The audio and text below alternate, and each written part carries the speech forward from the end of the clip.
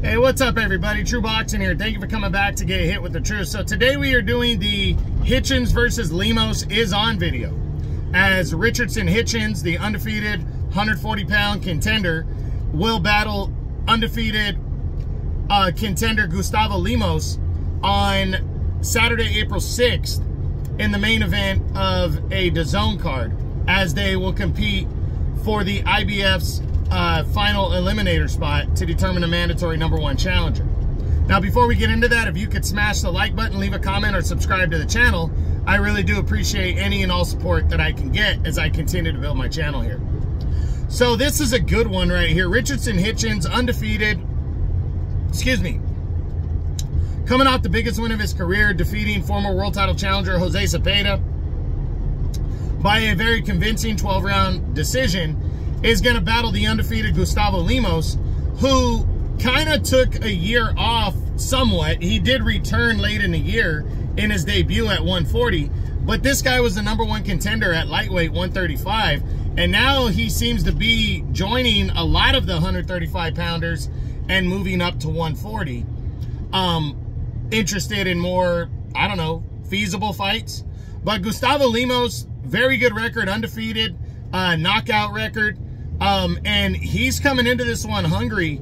You know, he's he's got a victory over, uh, his biggest win was over Lee Selby, the former 130 pound champ when he, or well, featherweight champ, when he dominated him um, and stopped him in five. And I think, uh, yeah, Selby retired following that fight.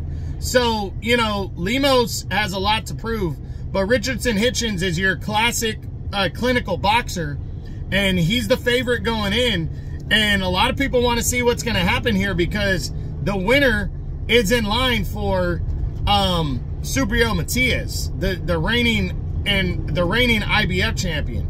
And him and Lemos is just a straight up slugfest. And then it's interesting if Hitchins gets the crack at uh, Matias because it's a it's an interesting style clash with Hitchins being the classic boxer and Matias being that grinded out beat you up, wear you down type fighter. So it really does. The winner of this fight is going to be in line for the IBF title. And, and it's going to be very interesting to see who comes out on top and if, and if uh, they'll get their title shot later in the year against the somewhat avoided Subriel Matias. So really looking forward to this one. Hitchins versus Lemos is on Saturday, April 6th on DAZN as they would compete in an IBF final eliminator at 154 pounds. I hope you enjoyed the video. I mean 140 pounds. I'm sorry about that, junior welterweight. I hope you enjoyed the video. If you did, smash the like button, leave a comment, or subscribe to the channel. I appreciate any and all support. This is TRU Boxing. You've been hit with the truth.